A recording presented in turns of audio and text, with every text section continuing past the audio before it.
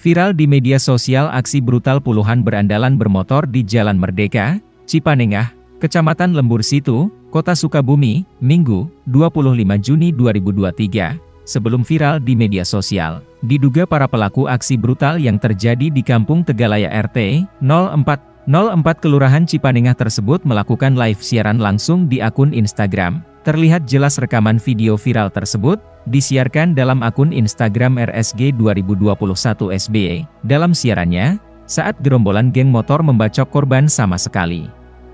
Tidak menggunakan bahasa Sunda atau daerah.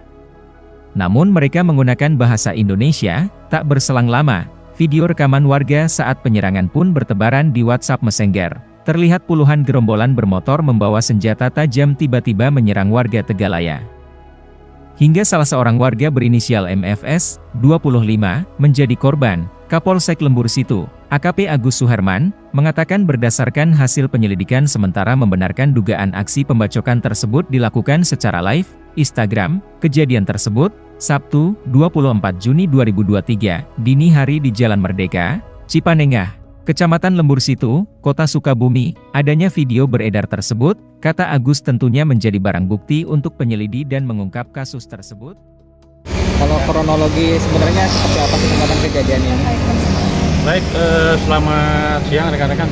Saya sampaikan untuk sementara kaitannya dengan kejadian tadi subuh ini hari bahwa ada telah terjadi eh, pengeroyokan penganiayaan yang mengakibatkan uh, salah satu warga mengalami luka-luka baik di bagian kepala, tangan maupun bagian uh, pinggang.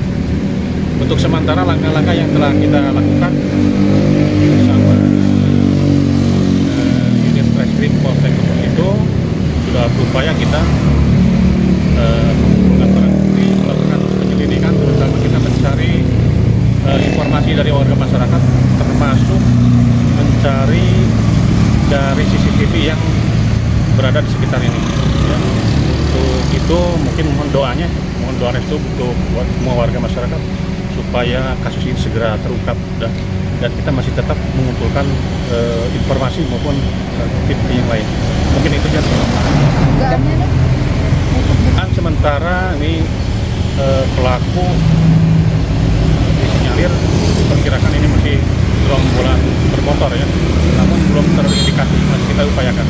Kejadian di RT 4 RW 4 Jalan Merdeka dekat SMK 4 Jangan lupa like, subscribe, dan share ya